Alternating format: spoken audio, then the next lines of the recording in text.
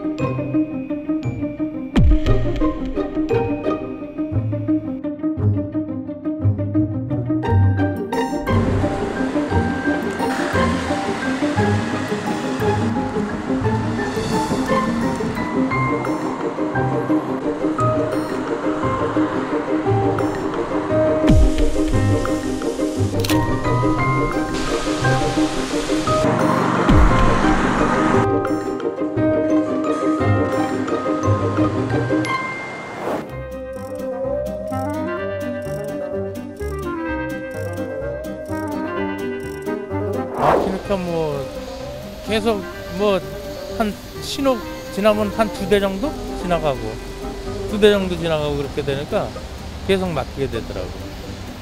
또 거기다가 어, 차들이 자꾸 엉키니까 계속 꽉 막혀서 어, 거기서부터 한 여기까지 평상시보다 한, 한 시간 정도?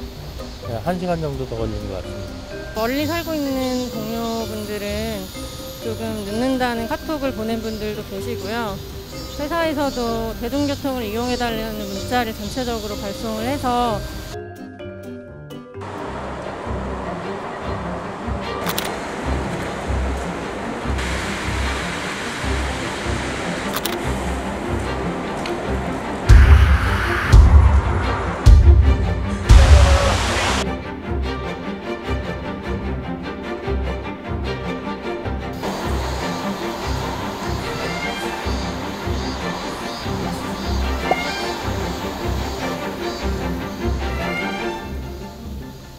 you